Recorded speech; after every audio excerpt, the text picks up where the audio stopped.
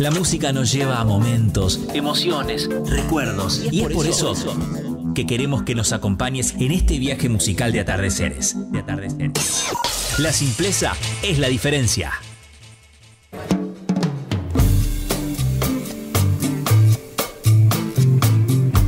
Bueno, y como lo hemos adelantado, vamos a hablar de Tanguito. Y podríamos decir que es una de las leyendas del rock argentino. No voy a decir rock nacional, vamos a decir rock argentino Sí, mejor. tal cual. Queda más lindo. De José Alberto Iglesias, tango o tanguito. Aunque él ese apodo no le gustaba mucho y prefería que le digan Ramsés VII, porque era muy fan de todo lo que tenía que ver con Bueno, eso. No sabía eso. Bueno, Ramsés. Eh, él había nacido en el partido de San Martín, acá en el conurbano bonaerense, el 16 de septiembre del año 45. Su papá, José Iglesias, era vendedor ambulante y su mamá, Juana Correa, era una empleada doméstica. Eh, le interesó más tocar la guitarra que estudiar y empezó a viajar desde el barrio de Caseros, donde él vivía, a juntarse con los hippies que estaban allá en Plaza Francia. Recordemos que en la década del 60 hubo un movimiento hippie en Estados Unidos que también vino a nuestro país. Bien. Y eh, le gustaba frecuentar estos bares como La Cueva o La Perla, que estuvimos hablando antes ahí en Once.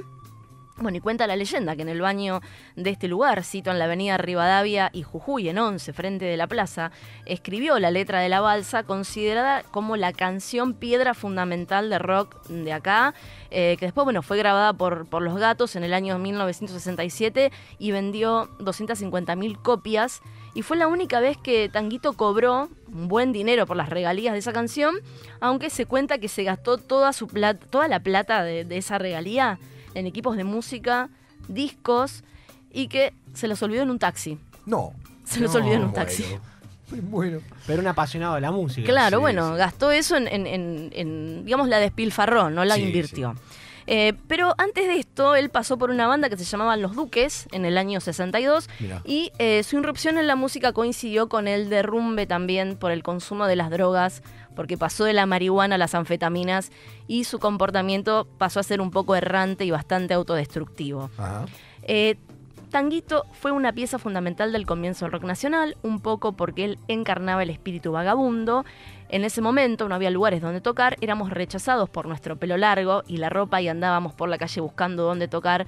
Así declaró alguna vez Pipo Larnud, que era periodista y muy amigo de Tanguito y también uno de los iniciadores de este movimiento hippie acá en nuestro país. Sí.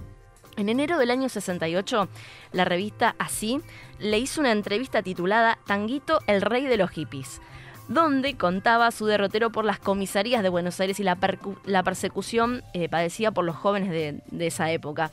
Recordemos que el país estaba bajo el gobierno dictatorial de Juan Carlos Onganía. Sí. entonces eran años de convulsión política, social, eh, no solo acá, sino en el mundo. Y en esos años se dio el Cordobazo, Sí. eh, se dio también la Noche de los Bastones Largos en el 66. Entonces, Cierto. bueno, los jóvenes eran un buen, un buen objetivo a perseguir, ¿no? Exacto. Y más si tenés a pelo largo.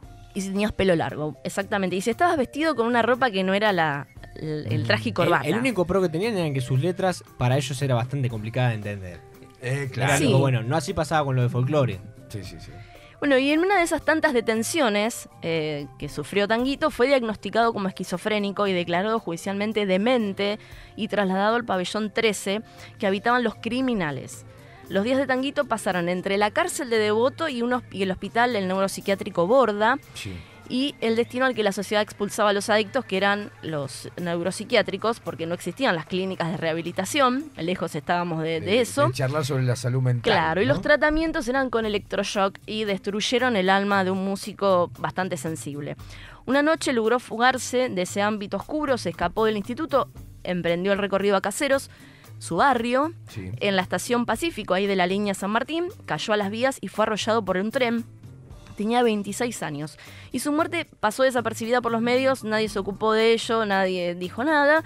Unos días más tarde recién salió una pequeña publicación que había sufrido este accidente y nada más que él supo qué fue realmente lo que sucedió en esa noche.